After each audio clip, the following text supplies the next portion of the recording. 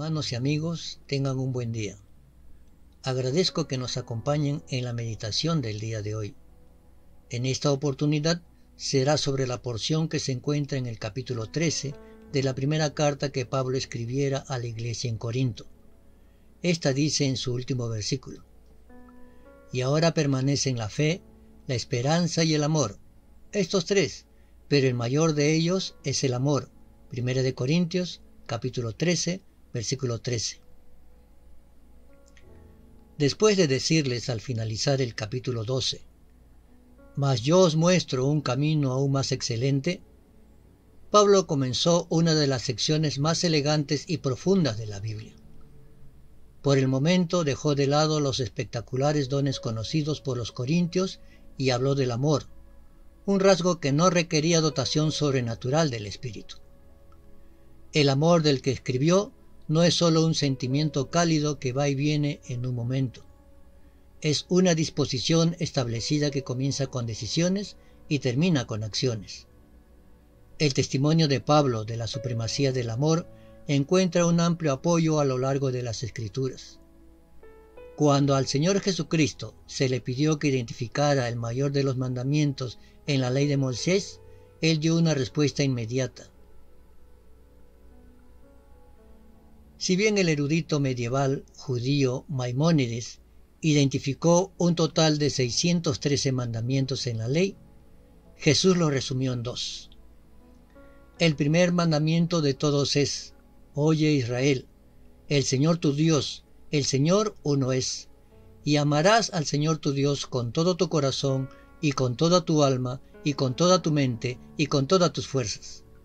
Este es el principal mandamiento. Y el segundo es semejante, amarás a tu prójimo como a ti mismo. No hay otro mandamiento mayor que estos. Marcos capítulo 12, versículos 29 al 31. El amor es la fuerza restrictiva que motiva a los cristianos a decirles a otros acerca de la gracia de Dios y la salvación de la condenación del pecado que está disponible para todos los que creen, porque fue comprada por la sangre del Cordero.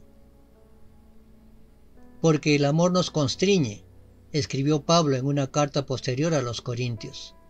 Pensando esto, que si uno murió por todos, luego todos murieron.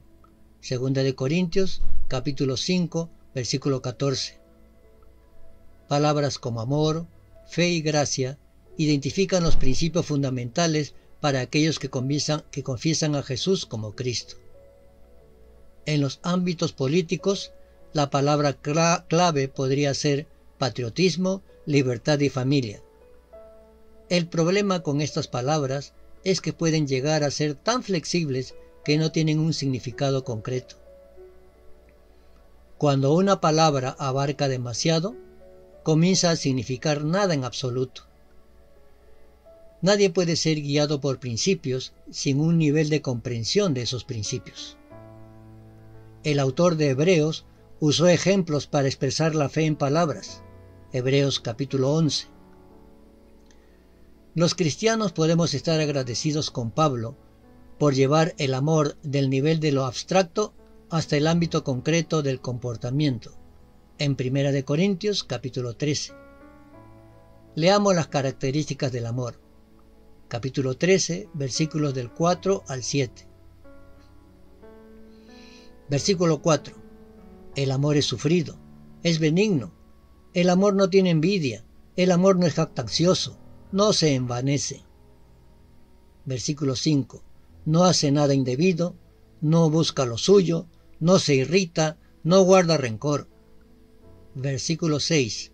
No se goza de la injusticia, mas se goza de la verdad.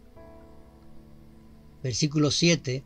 Todo lo sufre, todo lo cree, todo lo espera, todo lo soporta. El amor se ha convertido en una abstracción tan brillante una palabra tan usada y exagerada que casi ha perdido su significado en nuestra cultura. No tiene mucho poder ni misterio. Con sinceridad perfecta, las personas dicen amar todo, desde alimentos favoritos y pasatiempos hasta sus países y sus madres. La misma palabra se utiliza para describir los sentimientos para con los amigos de la infancia y algún galán famoso. Los anunciantes asocian al amor con los automóviles, los productos farmacéuticos y textiles. Quiere decir todo, por lo tanto, no quiere decir nada. Tal deterioro de la palabra amor en la cultura occidental constituye un fuerte contraste con la elección de ágape. Para este concepto cristiano vital en el mundo grecorromano del siglo I.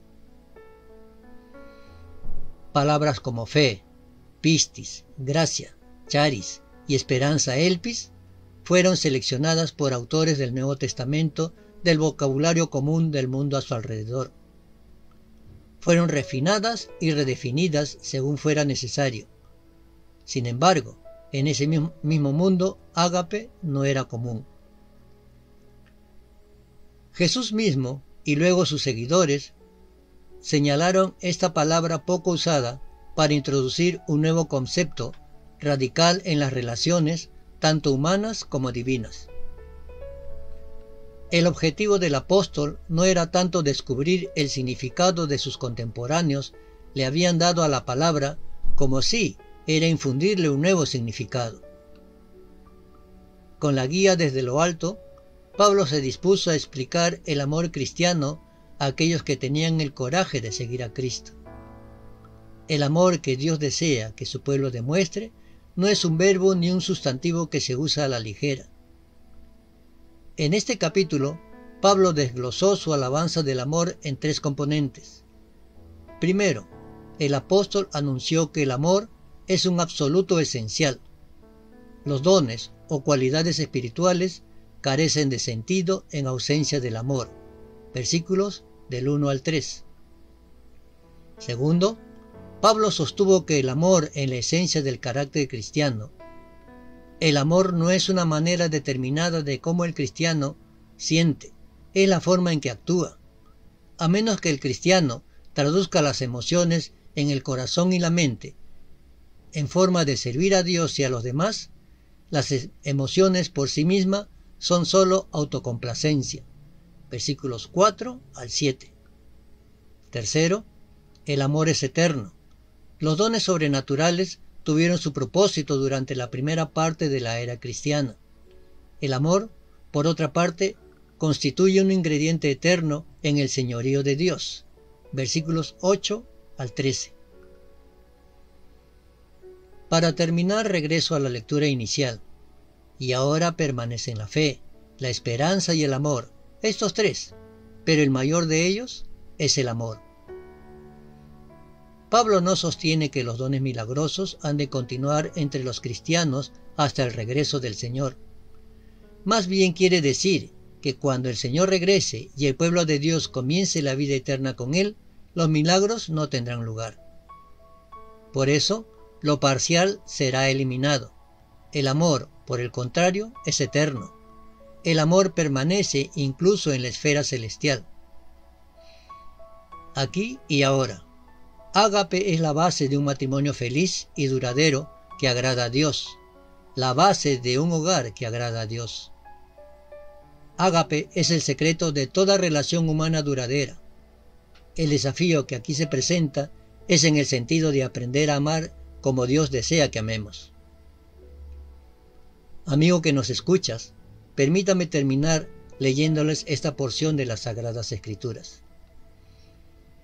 Mas Dios muestra su amor para con nosotros, en que siendo aún pecadores, Cristo murió por nosotros. Pues mucho más estando ya justificados en su sangre, por él seremos salvos de la ira. Porque si siendo enemigos, fuimos reconciliados con Dios por la muerte de su Hijo, mucho más, estando reconciliados, seremos salvos por su gracia. Romanos capítulo 5, versículos 8 al 10. Dios nos amó y dio a su Hijo por nosotros, cuando nosotros éramos sus enemigos. Eso es amor ágape. ¿Cómo no va a amar usted a un Dios así?